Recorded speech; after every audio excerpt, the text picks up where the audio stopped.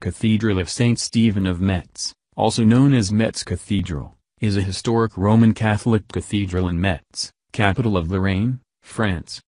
Saint-Étienne de Metz is the cathedral of the Roman Catholic Diocese of Metz and the seat of the Bishop of Metz, currently Pierre Raffin. The cathedral treasury exhibits a millennium-rich collection of the Bishopric of Metz, including paraments and items used for the Eucharist. St. Stephen of Metz has one of the highest naves in the world.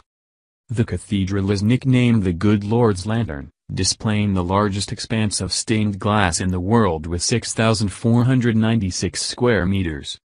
Those stained glass windows include works by Gothic and Renaissance master glassmakers Hermann von Munster, Theobald of Lixheim, and Valentine Bousch and Romantic Charles Laurent Maréchal, tachist Roger Bissière, Cubist Jacques Villon, and modernist Marc Chagall.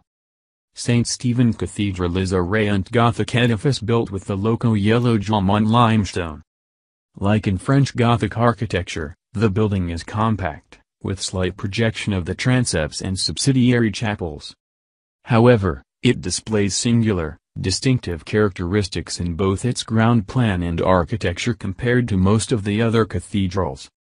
Because of topography of Moselle Valley in Metz, the common west-east axis of the ground plan could not be applied and the church is oriented north-northeast.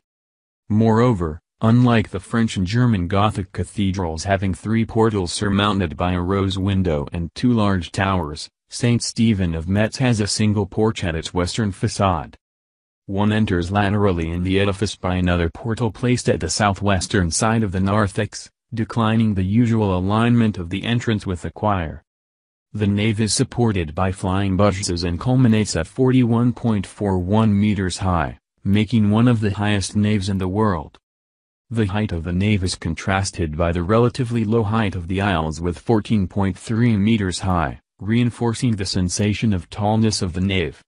This feature permitted the architects to create large, tall expanses of stained glass.